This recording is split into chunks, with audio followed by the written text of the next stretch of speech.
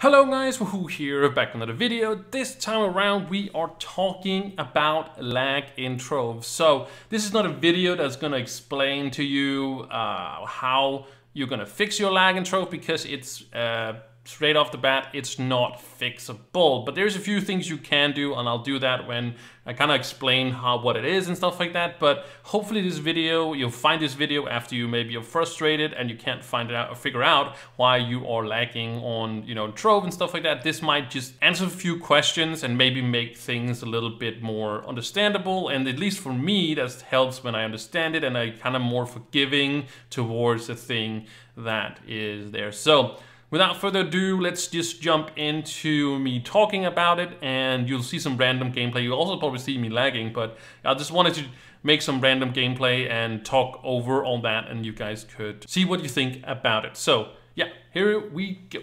All right, let's talk lag, guys. So uh, what is lag and trove? Well, lag and trove is that you basically bounce around uh, a lot and it can be quite frustrating and you know sometimes the world is not loading either. Um, so like I said I will talk about a few fixes or fixes per se but a few things you can do that is gonna help it a little bit. It's not gonna ruin it completely because what the problem is and why Trove is lacking uh, is that you can have the best computer in the world you can have the best internet in the world uh, on PS4s and, and consoles and stuff, it's the same. The problem is that in the core game of Trove, unfortunately, game is broken. So that means that, uh, you know, when they coded the game, they did it in a very old language and there's many stories out there for how it went wrong and how is it going to, like, why don't they just fix it? It's because it's in the core game and as far as I've heard is that if you tamper with the core game,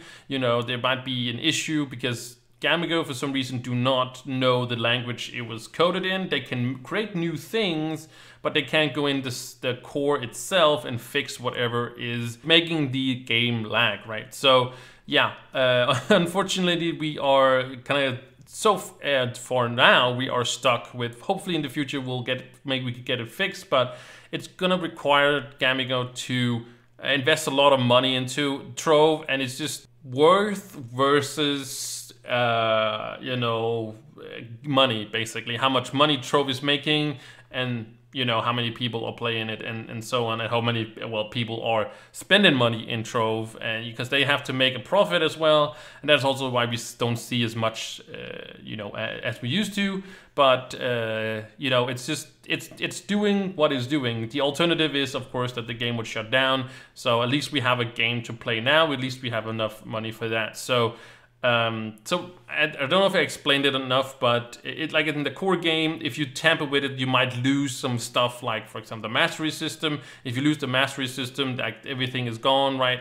And they could go in and do things like that. I've also heard that Gamigo don't have people that understand the language, and then they have to hire a person to do it. And uh, I guess they could do that, but um, then again, how big a problem is the lag itself. For some people, it is, you know, a lot of lag and, and stuff like that's very uncomfortable. But now that you know that it's something that is just gonna happen and you can just chill about it, I guess that maybe fixes a few things. But let me explain a few things you can do to fix your game or not really fix it, but you can do a few things, right?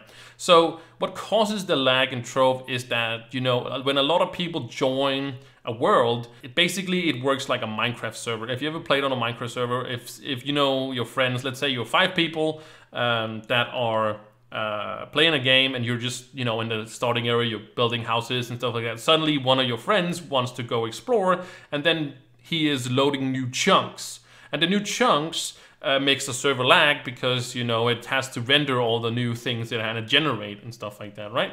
The same thing happens in Trove. So when you cram in like 25 people and they're all going in direct uh, different directions, that is when you cause those, uh, you know, not to render and stuff like that, because then the server prioritizes uh, particular people, like goes this way, this, this, this, and then, you know, sometimes you're just gonna get stuck in the world, and that's what happens when it renders, uh, you know, whatever.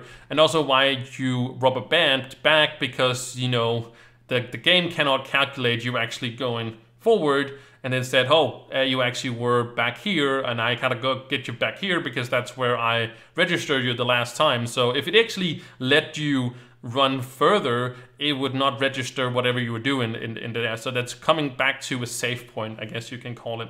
So how you're gonna fix it or uh, deal with it, it is that you just stay in the same, it's gonna lag every time you join a new world. So if you wanna get lag free, you just have to stay in the world as long as possible and keep farming the same because then people are gonna leave and then you're gonna be alone. A lot of in-game players uh, ask in their clubs for empty, empty worlds basically. So somebody's like, yeah, here you can join that and then you like two people, that's not gonna lag out the game. And then of course also when you have challenges going on, then there's a lot of people that flood to the challenges because people want dragon coins and stuff like that. So actually top of the hour and the, for those 20 minutes approximately, that's when the, the lag gets the worst. And also because most people go into the uh, in-game worlds, that's U10 for example, for the Geode Topside. It's Prime Worlds U9 because U9 you get your challenges done faster and whatnot. So that's really what it's all about. It's all about the the flood of people and so how to fix it or fix it again is just to stay in the world as long as possible because uh, eventually people are going to leave and then you know join other worlds or just stop playing right and then you're gonna be alone so it's just if you have if you're just gonna play for a whole day try to stay in the world for as long as the same world as long as you can, of course. And U10, it's a little bit harder because you only need to find those different places and whatnot. But yeah, um, th that's kind of the only thing you really can do. There's there's no settings. There's not getting a better computer. There's not better internet or anything like that. It's all about the fewer people that are in there, and that's also one of the problems. And I don't like about, for example, if you use um, or you take, sorry, if you take Leviathans, right? Leviathans are in, well, U8, U9, and 10, and those are, especially U10, that's where you get the best permatorch, and that's what people want, want right? They want the permatorches in all their characters, or at least one. I've heard of people, you know, going for 2,000 Leviathans, not seeing the permatorch and stuff like that. So people are still hunting these uh, Leviathans, and when, if you're running around, you know, oh, there's only like five people in this world. Oh, that's cool. But then suddenly somebody's hunting them and then goes in and then invites everybody, right?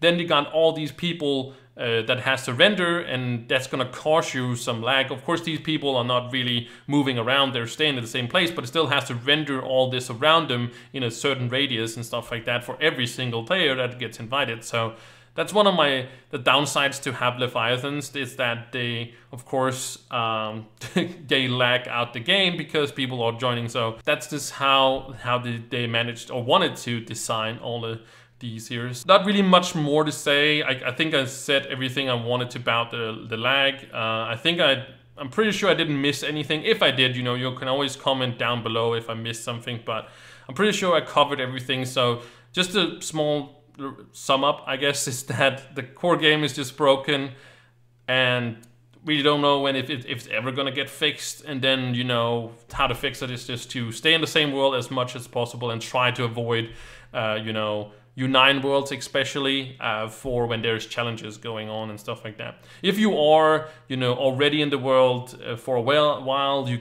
it's not going to uh, you know uh, infect you as much as it's going to be if you just join the world and stuff like that. So that's why you're going to see lag in Trove, and I guess that's a small fix. That's at least what I do. I stay in the same world as much as I can. Uh, in the footage you've seen, I, I, go all over the place, but I know what it is, so I'm kind of cool with the lag, and it just happens, and you know, just stay away from the things that I basically mentioned. And it's going to cause a little bit. It's still, it's, it's not going to fix the lag completely, of course, but it's going to make it a little bit more tolerable, I, I think. So yeah, anyways, that was it. I think I ranted on long enough about the lag. I hope you guys understand. I hope it gave some clarification. I hope so. And yeah, again, put them in the comments, you know, if there is something you wanted to ask about lag or anything about Trove uh, in, in that case, and I will be happy to help you for sure. So thank you again so much for watching, and I will catch you in the next one. Bye!